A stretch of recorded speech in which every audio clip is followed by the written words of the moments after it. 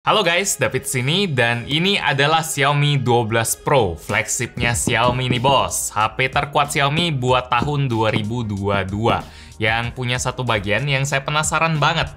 Chipsetnya itu loh, Snapdragon 8 Gen 1, chipset terkuat dari Qualcomm buat sekarang. Kalau urusan cepet-cepetan pakai chipset flagship baru, Xiaomi memang nggak mau kalah lah. Harusnya Xiaomi 12 ini bakal jadi HP pertama dengan Snapdragon 8 Gen 1 yang dijual resmi di Indonesia ya, biasanya kayak gitu.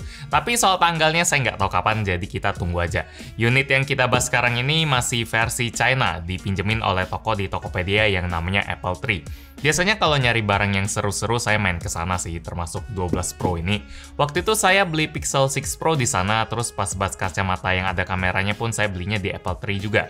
Lumayan rutin lah buat cek di sana, sampai ada HP ratusan juta juga kalau berani beli. Kalau Anda pengen mampir ke tokonya, bisa cek link di bawah aja. Oh ya, sekalian buat ngingetin dikit, kalau lagi mampir ke Tokopedia, jangan lupa buat sekalian top up pulsa atau kuota, bayar tagihan listrik, air, TV kabel, dan lain-lain. Bayar tagihan kartu kredit pun bisa di Tokopedia, karena di sana banyak layanan digital yang bikin kita nggak ribet. Kerjain semua dari HP di satu aplikasi aja. Bahkan bayar Samsat pun juga bisa loh. Buat info lebih lanjut soal produk digital di Tokopedia bisa cek link di bawah juga. Sekarang waktunya unboxing. Nanti kita bakal benchmark sama main Genshin ya. Semoga dia nggak panas kayak si kakaknya itu si Snapdragon 888. Ya tapi itu nanti pas kita ngetesnya sekarang kita nikmatin dulu experience ngebuka kotaknya yang saya baru agak nyadar dikit kalau tulisan 12-nya itu entah kenapa agak ke kiri dikit ya kayak nggak seimbang gitu kayak agak berat ke sebelah kiri dikit. Kalau digeser ke sini dikit mungkin bakal kerasa lebih enak gitu. Tapi ya udahlah di sini ada logo Xiaomi, ada tulisan Xiaomi 12 Pro. Di sini ada sound by Harman Kardon. Jadi seperti biasa udah dua kali apa flagship Xiaomi pakai stereo speaker dari Harman Kardon dan suaranya mantep banget. Di sini ada tulisan Xiaomi 12 Pro, Xiaomi 12 Pro dan di sekitarnya nggak ada apa-apa sih. Kalau bukan HP resmi, memang biasanya tempelannya nggak terlalu gimana lah. Di bagian atas ini ada keterangan soal varian apa yang lagi kita bahas. Ini ada RAM 8GB dan internal 128 alias yang paling rendah. Soalnya ada 8128 yang ini, ada 8256 dan ada 12256. Jadi ada tiga varian warnanya sendiri. Ada hitam, ungu, putih kalau nggak salah. Dan warna yang kita unbox kali ini warna hijau. Kita buka dulu. Di sini ada tulisan Xiaomi seperti biasa, tapi nggak bakal ada sambutan dari Alvin karena Alvin nggak bakal nyambut kita kalau kita belinya bukan yang versi resmi Indonesia. Yang ada malah dibilang, woi beli yang versi resmi lah, garansinya jelas. Kalau beli yang kayak ginian kan udah ROM-nya bukan ROM global, ROM China, terus garansinya juga nggak ada. Jadi ini sekedar preview buat unbox, eh buat kalau misalnya si Xiaomi 12 Pro dan Xiaomi 12 masuk Indonesia, di sini ada casing silikon. Mungkin kalau masuk ke Indonesia bakal sekitar Maret ya atau Februari lah. Biasanya kalau flagship Xiaomi sekitar bulan Februari sih. Di sini ada si Xiaomi 12 Pro yang warna hijau. Ini hijaunya nggak terlalu hijau sih, malah agak kebiruan ya. Ini tulisannya sih green vegan leather gitu ya, tapi kalau saya lihat ini lebih ke warna kayak biru yang dikasih warna dicampur warna putih banget gitu. Ini kayak warna apa ya? Ya ini kayak warna telur bebek sih. Itu biru atau hijau, Bang? Iya, telur bebek kan? Biru. Biru. Biru hijau. Kevin bilang hijau, gue bilang biru. Hijau telur asin. Telur asin kalau telur bebek nggak pasti hijau ya. Ya biasanya yang asin itu telur bebek sama aja kan. ya udahlah, ini pokoknya warna telur bebek lah atau telur asin. Ini kalau Anda pengen komen sebenarnya ini warna apa dan nama spesifiknya silakan. Cuma kita kan kearifan lokal kita pakai nama warna telur asin aja. Terus di bagian dalamnya ada lagi charger 120 watt yang diklaim bisa ngecas si HP-nya dalam waktu 18 menit. Dan waktu itu udah pernah kita buktiin di Mi Mix Ultra yang 4 dan memang kebukti 120 watt kenceng itu. Ini sendiri dia baterainya 4600 mAh jadi lumayan gede. Di sini kita dapetin charger atau kabel uh, ya kabel buat charging dari kepala Type A to Type C. Terus nggak ada apa-apa lagi, sekarang kita coba lihat detail dari desainnya dengan lebih dekat. Di sini kalau misalnya kita pesen yang warna telur bebek ini, kita bakal dapetin tekstur yang agak beda ya, karena khusus warna ini Dia dikasih apa? Belakangnya itu bukan plastik, bukan kaca, bukan metal, tapi bahannya itu vegan leather. Jadi memang serasa HP flagship kayak di Oppo Find X X2 malah, X3 nggak ada vegan leather soalnya. Oh, terus kayak Infinix yang flagship itu, tapi itu kayak vegan leathernya beda kualitas sih. Ya biasanya di HP yang special edition itu dia bagian belakangnya atau HP yang mahal itu bagian belakangnya pakai vegan leather. Pakai vegan leather. Dan si Xiaomi 12 Pro ini juga ngikutin langkah yang sama. Kalau bagian belakangnya sendiri layoutnya lumayan mirip ya. Ini ada kamera utama 50 megapiksel, ada kamera telefoto dan ultrawide 50 megapiksel juga. Cuma di sini ada sentuhan yang menarik yang belum pernah saya lihat dibanding yang lain. Di sini kayak ada grid gitu, garis-garis pemisah antar si lensa. Jadi kayak kerasa rapi gitu. Walaupun ya sebenarnya kalau nggak ada garis juga biasanya susunannya kayak gini. Cuma ada garis kayak lebih ada aturannya aja, kayak lebih jelas aja. Di sini ada LED flash dan ada tulisan 50 megapiksel. Yang mana ketiga-tiganya 50 megapiksel. Di sini ada logo Xiaomi, branding Xiaomi. Di sini ada tombol power dan tombol volume, terus ada garis antena, ada garis antena, di atas ada speaker. Ini stereonya bukan stereo-stereoan yang pakai ke depan yang kecil, tapi dia ada speaker khusus. Ada Harman Kardon, ada IR Blaster kesayangan kita di HP Xiaomi. Terus ini pole saja, ada garis antena aja, dan di sini ada speaker lagi karena stereo. USB Type-C, mikrofon dan ini nggak usah kita lihat deh ini harusnya dual nano sim tadi saya lihat di gambar cuma di Indonesia belum tentu jadi kita skip aja wah dia udah MIUI 13 cuma karena MIUI-nya bukan versi global jadinya ya ini belum bisa benar-benar dinilai di review atau kayak gimana sih pas yang kalau di HP ini pas kita bahas HP yang resmi baru nanti saya bakal kasih kesannya kayak gimana sekarang setting-setting dulu Sip, jadi saya selesai setting-setting juga akhirnya. Tadi udah install game, udah coba main-mainin dikit. Dan ini adalah penampakan paling awal dari Xiaomi 12 Pro. Jadi karena ini ROM-nya China mungkin jadi dari awal dia langsung kasih waktu yang berbeda dua zona waktu kalau misalnya dia keluar dari China Standard Time. Di sana udah jam 6 sore, di sini di Jakarta beda sejam jadi jam 5. Di sini juga aplikasi-aplikasinya masih bawaan sana semua tapi saya udah install Google Play Store Ya ini catatan sedikit, jadi apa yang Anda lihat di sini bakal beda banget sama versi resminya, kecuali dari tampilan kayak gini-gini MIUI 13 harusnya bakal sama sih. Ya ini bagian notif, terus kalau kanan dia bakal masuk ke shortcut-shortcutnya, dan bagian setting kira-kira kayak gini. Ada widget sih di MIUI 13. Kalau dari spek layarnya sendiri, dia ini punya ukuran 6,73 inci. Jadi lumayan gede, cuma di tangan nggak kerasa gede loh. Di tangan kerasa enak dipegangnya kayak HP-HP standar, nggak segede kayak angkanya 6,73 mungkin. Karena karena dia tuh luber-luber sampai ke samping gini ya. Jadi bagian sana juga dihitung. Terus resolusinya ini 2K.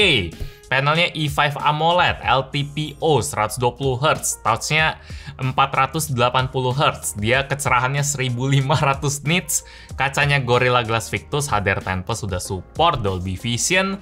Ini kayak layar yang kalau dari speknya sama sekali nggak ada yang dipotong sama sekali ya. Ini juga di DisplayMate dapetin nilai A+. Jadi ya kualitas Layar HP flagship memang harus kayak gitu sih. HP ini sendiri beratnya sekitar 200 gram lebih dikit lah. Sekarang kita coba lihat skor Antutunya. Tadi saya udah tes, ini dia dapetin 945 ribu pecah rekor dari yang Snapdragon 888 kemarin yang Snapdragon Phone aja dia 800 ribuan ini Xiaomi dapetin 945 ribu hampir sejuta ya tapi ada yang menarik, ini saya ngetesnya di mode balance. 945.000 tadi tuh modenya balance, jadi HP-nya berusaha nyimbangin panas dan performanya. Nah, sekarang kalau kita hidupin performanya, jadi nih ada peringatan langsung.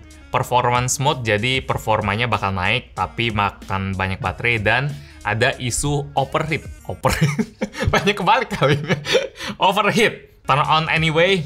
Oke, kita hidupin. Yang penting kita pengen lihat performa maksimalnya itu kayak gimana.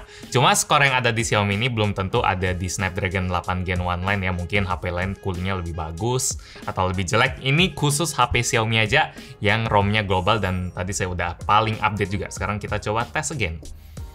Harusnya sih panas, tapi uh, skornya sejuta semoga ya. Tadi saya uh, pas pegang saya lupa cek suhunya berapa karena dia nggak panas-panas banget yang balance mode. Mungkin balance mode ini salah satu cara Xiaomi buat nanggepin isu kemarin yang Mi 11 itu kan parah banget. Snapdragon 888 mau gimana pun pasti overheat mau modenya apa pun. Jadi ya kali ini mereka kasih pilihan balance mode kalau mau suhunya aman, enak. Saya udah coba. Kalau performance mode kita harus lihat lagi. Ini kayak gimana. Panas sih pasti ya, tapi coba kayak gimana. Ini kok performanya aneh ya? 847 ribu. Tadi 945 kan? Ini mah kayak skor Snapdragon 88. Cuma dia nggak panas. ini tangan saya pegang dia nggak panas. Ini kalau coba kita rekam, kalau kita rekam dia titik paling panasnya cuma 38. Kalau kemarin si Mi 11 kan pas panas banget itu bisa sampai 50 sampai pegangnya aja kayak lagi disiksa gitu karena sakit banget. Tapi ini pegangnya anget-anget aja biasa kayak HP anget pada umumnya kayak HP lain. Cuma skornya juga kayak HP lain. Nggak kayak HP yang chipsetnya spesial. Entah kenapa bisa kayak gini ya yang balance tadi justru bisa skornya maksimal 945 ini kalau di performancein malah jatuh ke 847 apa. Artinya mode apa pun gak ada gunanya coba main game deh. Ini kalau main Genshin, ini tadi saya udah ada ngetes sekitar setengah jam di dua mode, jadi masing-masing sekitar 15 menit. Kalau kita main di performance mode, memang si HP bakal berusaha ngepush gamenya sampai ke 60 fps, walaupun seperti yang bisa Anda lihat di grafik ini, dia jarang bisa nyentuh 60 stabil itu, jarang sih biasanya 60, 50, 40, dan paling rendah sekitar 30-an, cuma dia bisa ke 60.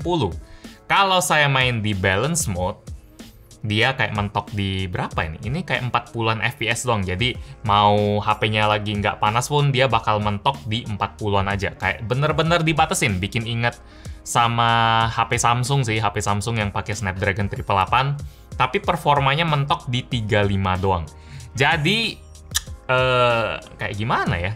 Dia kayak punya performa yang kuat banget sebenarnya, tapi karena udah luka di masa lalu kali ya. Jadi Xiaomi benar-benar main aman, walaupun di performance mode juga, tapi tetap nggak bisa konsisten 50 ke atas gitu. Walaupun jelas lebih mulus ya. Buat suhunya sendiri antara balance mode sama performance mode ini nggak jauh beda. Performance mode paling tambah 1-2 derajat doang. Jadi kalau mau dibilang performance mode lebih jauh, lebih panas dan lebih kencang, nggak juga sih di sini. Oh ya, ini software yang saya pakai buat ngetes frame rate-nya kalau Anda pengen coba ini namanya PerfDoc ya. Jadi biasanya saya pakai buat ngetes FPS di suatu game tuh berapa banyak pas lagi review HP tapi ya saya pakainya ini aja sih. Kalau Anda developer mungkin bakal dapat lebih banyak faedah lagi karena di PerfDoc nih kita bisa lihat data janknya berapa, data starternya gimana, RAM yang kepake berapa, baterai yang kepake berapa.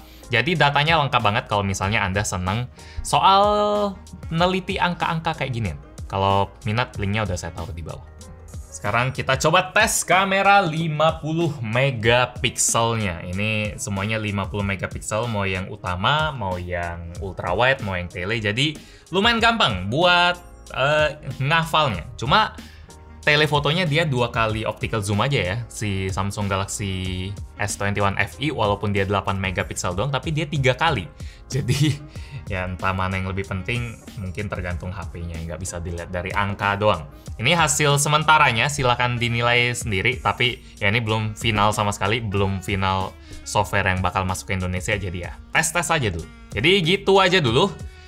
Unboxing buat Xiaomi 12 Pro. Ini kesan awal saya sih lumayan meyakinkan ya si Snapdragon 8 Gen 1 dia enggak di bawah 700, enggak di bawah 800 kayak HP-HP Snapdragon 888 kemarin, cuma dia juga enggak sewow yang saya bayangin sih kirain Qualcomm sampai ngubah nama Snapdragon 8 Gen 1, bukan 898 lagi. Jadi saya kirain bakal loncat banget, cuma kesan awal saya enggak segitunya sih. Buat HP-nya Xiaomi sendiri, ya ini HP flagship banget, tapi nggak ada IP68 sih, kurangnya sih. Belum sebut tadi. Ya, kita tunggu aja. Xiaomi Indonesia bakal kapan masukin HP ini dan harganya berapa. Habis itu baru kita review lebih dalam, sampel foto lebih banyak. Dan kita komentarin harganya juga pastinya. Jadi demikian unboxing buat Xiaomi 12 Pro. Like kalau Anda suka dan video ini, dislike kalau nggak suka. Dan kita ketemu lagi di video selanjutnya. Yo. Snapdragon. Ya ini lebih ke 8 Gen 1 juga sih karena penasaran. Setengah-setengah.